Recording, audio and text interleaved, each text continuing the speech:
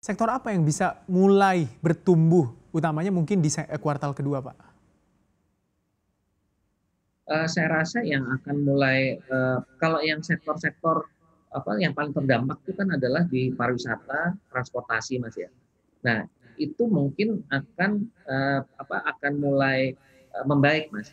Jadi kita melihatnya uh, bukan sektor yang memang udah nggak ada masalah ya, tapi sektor yang paling terdampak itu Eh, terukurnya seperti apa. Nah, kami meyakini eh, harusnya di sektor pariwisata dan transportasi yang paling parah eh, ter, terimbas oleh pandemi ini itu nantinya akan akan mulai terlihat perbaikannya.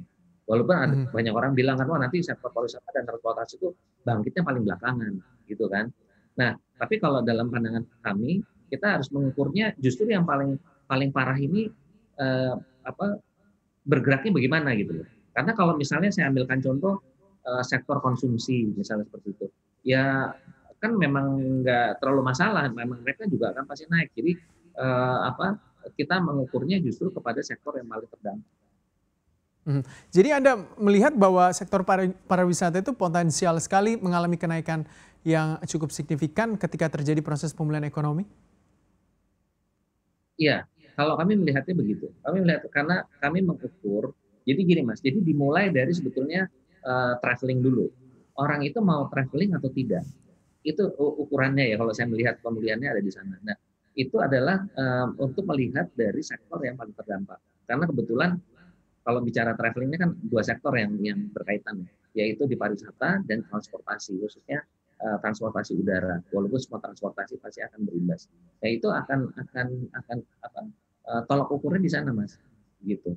Nah kalau sektor seperti konsumsi seperti apa namanya uh, yang terkait dengan produk-produk uh, manufaktur itu kan dia mengikuti seperti misalnya otomotif. Otomotif itu uh, kan orang tidak serta merta begitu pandemi selesai terus langsung belanja mobil kan nggak gitu ya mas ya? Orang kan mulai dengan traveling dulu gitu traveling dulu konsumsi apa namanya tadi saya bilang sektor pariwisata di situ termasuk juga ada retail ada apa restoran itu akan mulai berimbas. Nah sekarang aja kan kita bisa lihat begitu ada PM apa ppkm uh, eh, langsung ke retail langsung drop semuanya kan. Nah jadi kalau kita akan melihat di situ mas jadi itu akan terlihat. Nah kalau sektor itu sudah mulai terlihat apa membaik, otomatis semua sektor lainnya akan ikut gitu.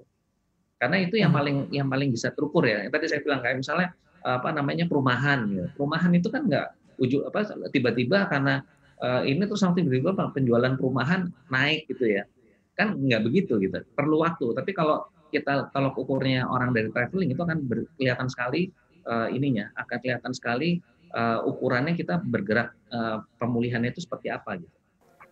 Jangan lupa untuk download aplikasi CNBC Indonesia yang tersedia di Play Store dan juga App Store untuk mengikuti terus perkembangan informasi seputar ekonomi dan bisnis terkini.